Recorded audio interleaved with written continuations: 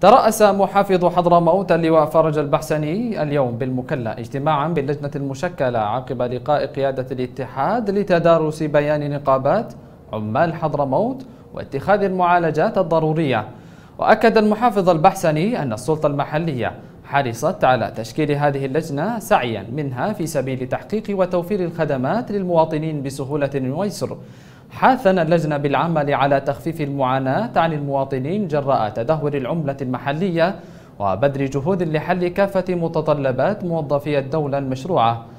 وأوضح محافظ حضرموت أن مهام اللجنة تتضمن دراسة بيان اتحاد نقابات عمال حضرموت واتخاذ المعالجات الضرورية وفقا للصلاحيات المخولة للسلطة المحلية وإمكانياتها المتاحة والرفع بالمعالجات إلى قيادة السلطة خلال أسبوع. قد عقد أمس لقاء مع النقابات كان لقاء مسؤول وتدارست السلطة المحلية ما هي الإجراءات التي يمكن اتخاذها. واليوم أيضا عقد اجتماع مع لجنة تم تشكيلها من قبل فريق مشترك بين السلطة المحلية والنقابات وأعطيت لهم مهمة محددة للوقوف أمام النقاط التي وردت في بيان النقابات. وأيضا أي قضايا أخرى تهم حياة المواطنين